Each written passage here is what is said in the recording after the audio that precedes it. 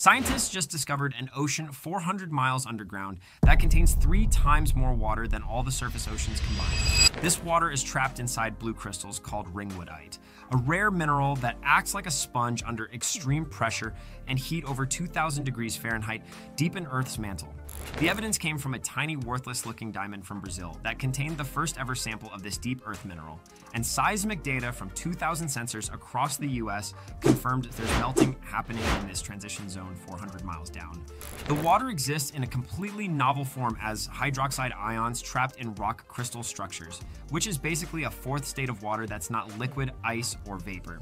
This discovery rewrites Earth's origin story because the prevailing theory was that our oceans came from icy comets and asteroids crashing into the planet. But if there's three times more water underground than on the surface, that's way too much to have come from space.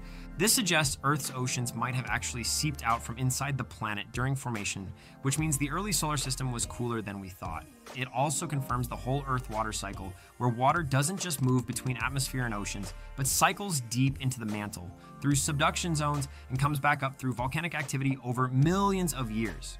When there are literally oceans beneath oceans that we never knew existed, we're still discovering fundamental things about our own planet that change everything. If you enjoyed this video, drop a like and comment below. Follow my page for more stories like this.